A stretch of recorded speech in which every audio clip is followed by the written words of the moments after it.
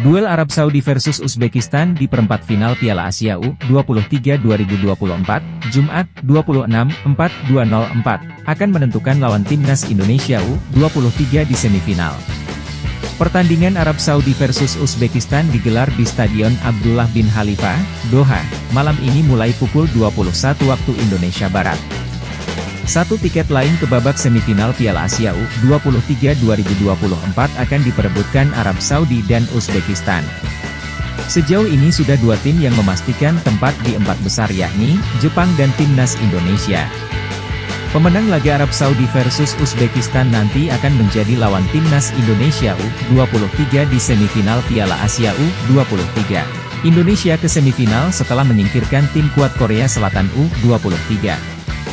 Sementara satu pertandingan perempat final lain mempertemukan Irak versus Vietnam. Pemenang pertandingan ini akan menghadapi Jepang di semifinal. Arab Saudi versus Uzbekistan akan disiarkan langsung di Inews.